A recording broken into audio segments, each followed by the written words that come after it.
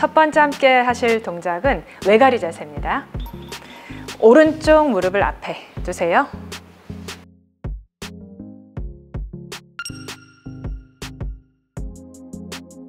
그리고 왼쪽 무릎은 굽혀서 엉덩이 가까이.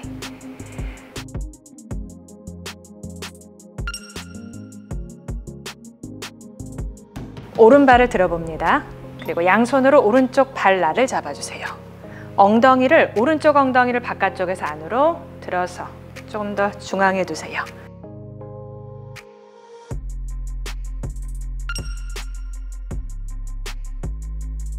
그리고 양손 발날 잡고 척추와 가슴을 쭉 펴신 상태에서 왔다 갔다 편안 호흡하면서 좀 몇 번 움직이세요.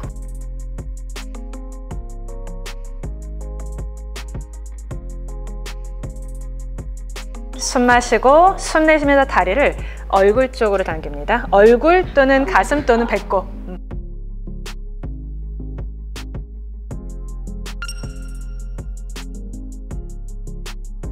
자, 여기서 머물러서 세 번 정도 호흡을 하세요.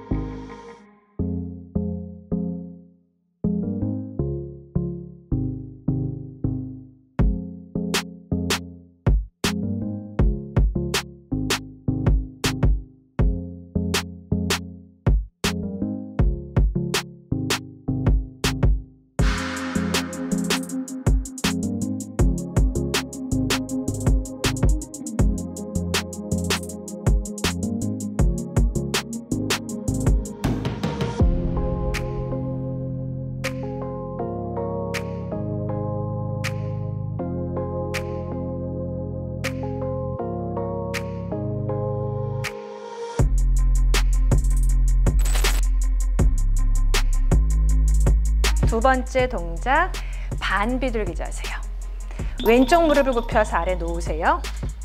왼쪽 무릎 끝은 매트 끝을 향하게요. 그리고 양손을 왼쪽 다리 옆에 바닥을 짚으세요.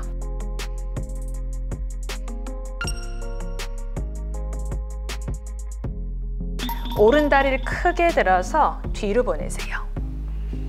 뒤에 있는 오른쪽 무릎이 불편하지 않도록 발끝을 세워주세요. 양손을 앞에 바닥에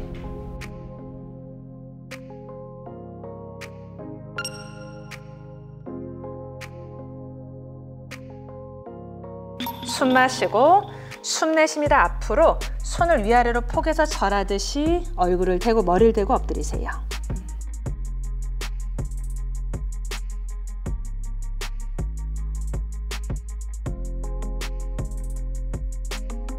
숨 마십니다. 상체 세우고 돌아오세요. 제자리로.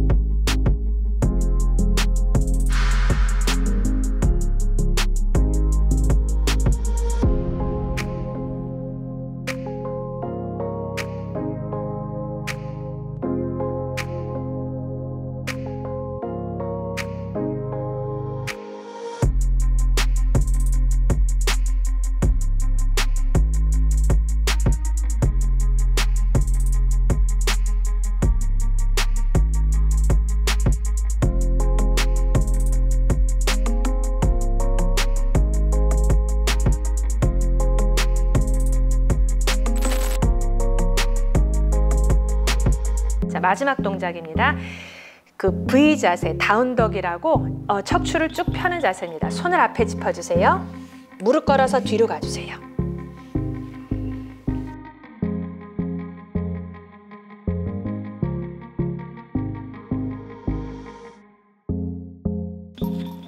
양손 어깨 너비, 두 다리 골반 너비에서 발가락 끝 세워주세요. 숨 마시고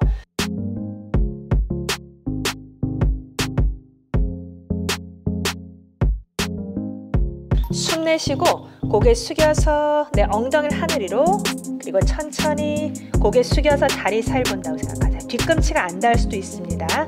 뒤꿈치 안 닿으실 경우에는 뒤꿈치를 차라리 아주 높게 두고 무릎을 굽혀서 배랑 허벅지가 만나게 이렇게 계시면 돼요.